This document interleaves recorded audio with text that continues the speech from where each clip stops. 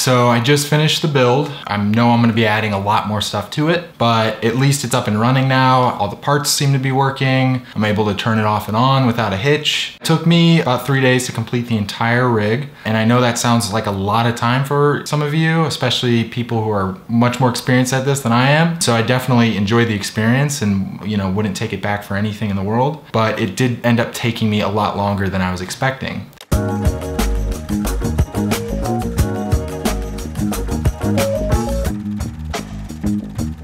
Thank you.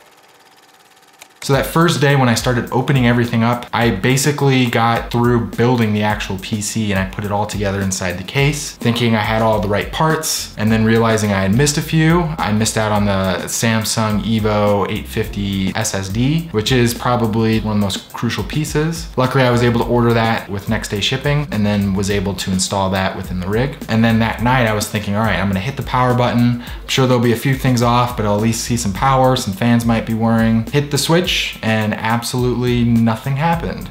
And that gave me a lot of concern. I was freaking out because being a newbie uh, PC builder, I thought either I had damaged a part while installing it. One thing I will definitely do when I build my next PC is I'm gonna build all the parts outside of the case before I install everything, just to make sure everything runs appropriately. I was really surprised, but most of the parts, they all connect to the motherboard, which obviously makes sense to me now. But at the time I had no idea that everything kind of connects to that motherboard. So if you have like a piece of cardboard, um, you can build everything outside in a safe environment still and just make sure it actually runs properly. And you can do that right before so that you're not gonna spend hours and hours installing everything inside the case like I did, and then realize you're gonna have to uh, then remove pieces and figure out what's wrong and all that good stuff. Another piece that I, you know, completely ne neglected on, definitely looking to maybe getting a DVD drive. They're really, really cheap. I got mine at a local electronics store for about 20 bucks. And the reason why I needed one, which I didn't realize this would ever be a thing, but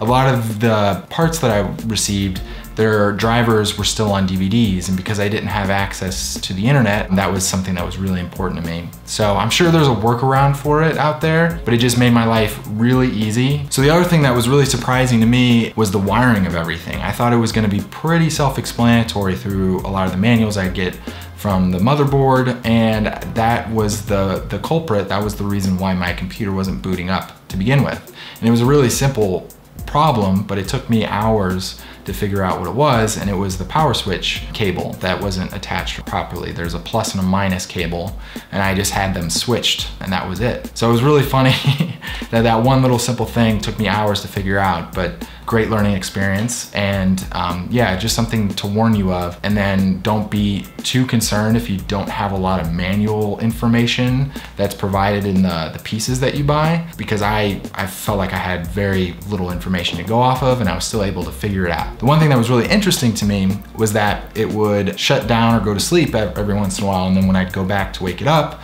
it would not wake back up. I had put one of the fans in the wrong place literally the main fan on the CPU was on the opposite side of where it should be. I didn't know this and again, there was no indication of where that fan should be placed. And now my computer runs even faster and also it boots up like almost immediately. So I haven't had any issues and I'm hoping that was the solution. It definitely seems like it was. I thought I could be limping by on my MacBook Pro for even longer if I wanted to and that this was kind of a luxury for me. But now that I've been actually using my PC and editing with it all today and yesterday, I've really realized that I didn't know how much time I spent loading programs and making sure all the media's there and like just actually playing media real time, especially 4K video, it's mind blowing. I can't believe I haven't been doing this sooner. I have a feeling this is just gonna absolutely speed up my editing process considerably just because everything's working properly.